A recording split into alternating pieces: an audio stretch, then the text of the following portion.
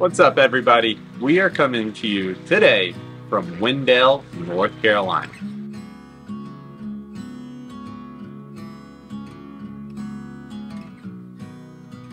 Wendell is what you would call an up and coming town to the east of Raleigh. And with prices on housing rising everywhere and remote work becoming more of the norm, people who have been priced out of the larger suburbs and Raleigh are starting to look at a quieter place, and they found Wendell. Pittsboro is another example of a small town, but recently the prices in Pittsboro have increased dramatically, making it less attractive to homebuyers looking for an affordable product. Wendell has a population of 7,962 people in 2020, but those are the latest census numbers. That number has definitely risen over the last couple years. With drive times of about 25 minutes to downtown Raleigh and 35 to 40 minutes to RDU, it's definitely not close to everything, but it's certainly a reasonable drive. We jokingly say it takes 15 to 20 minutes to get anywhere in Raleigh. While the median house price is officially 430,000, it's probably slightly misleading. There are a ton of properties that are, while not officially in the town of Wendell, there are, for all intents and purposes, in Wendell. And these also tend to be on the more affordable side of the spectrum. But what you'll see more of in proper Wendell is new construction at communities like where we're at, Wendell Falls, where the median house price is certainly over $430,000 in this neighborhood.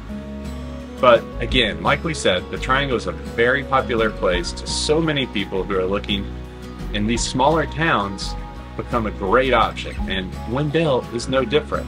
This can show in the year over year growth in house prices as Wendell sits around 30% year over year growth in home prices.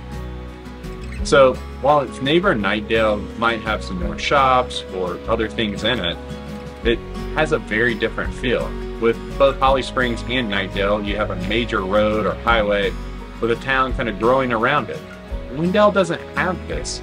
You get smaller roads, more country feel. It feels more like Cary and Apex did 20 years ago. And I'd be willing to bet that it's certainly going to be like Cary and Apex in 20 years. But that doesn't mean there's just cornfields around, right? Either. Wendell's downtown is more open and traffic friendly than most of the ones around, sporting several restaurants like Aubrey's and Pedals Grill, Agave Mexican Bar and Grill, Everest Kitchen, Bravo's Pizzeria, and 41 North Coffee Company. It has a little bit of everything and definitely a place to visit and enjoy. And what would one of our videos be if we didn't recommend a brewery? Bearded Bee Brewing Company is a converted stable that is both dog and kid friendly, and we know a lot of people who love the beer there. Activities to do in Wendell include a lot of outdoor activities like Robertson Mill Pond Preserve, which has a kayak trail, and yeah, it's pretty cool. Or you can go on a hike at Turnipseed Nature Preserve, and Wendell Falls, where we're at right now, is a new master plan community that has really transformed Wendell into what it's growing into today with open parks and more than 10 miles of trails for mountain bike runs, a center park for performances, a huge saltwater pool or splash zones for kids. This community is the first, but probably not the last master plan community that hopes to give Wendell activities and communities things to do. Also, Wendell Falls is essentially what 12 Oaks is in Holly Springs. It was developed by the same developer and has tons of similarities.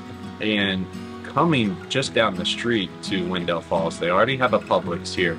They're going to be getting a Target soon, uh, a Starbucks. And what would any suburb in the South be without a Chick fil A? They have a Chick fil A coming. And yeah, it may not seem like a lot, but a 30 minute drive and you have access to basically all of the suburbs of Raleigh and all the activities they include. But really, if you want to move to Wendell, it's not for the overwhelming amount of activities. Wendell has that classic small town feel. Go read the reviews on Google. A lot of them mention the shops are friendly and unique, and they have their regulars that the owners know by name. In a big city like Raleigh, that's hard to find, but drive out just a little bit and you can still find that small town charm. This, this is the charm of Wendell. Small town, friendly people, and a close, small knit community. there are still some affordable properties. And when I say affordable, I, I think below $300,000, right? So there are still some opportunities to get into Wendell at an affordable price, which is becoming increasingly difficult to do. For example, in Pittsboro, finding anything under $300,000 now is basically not going to happen. And the same goes for the majority of towns in Boulder County.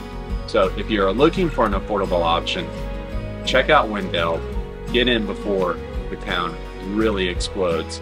If you or someone you know are looking to make a move and have questions about the Raleigh area the great suburbs that we have, let us know. Shoot us a text, a call, or a DM, and we'll be happy to reach out.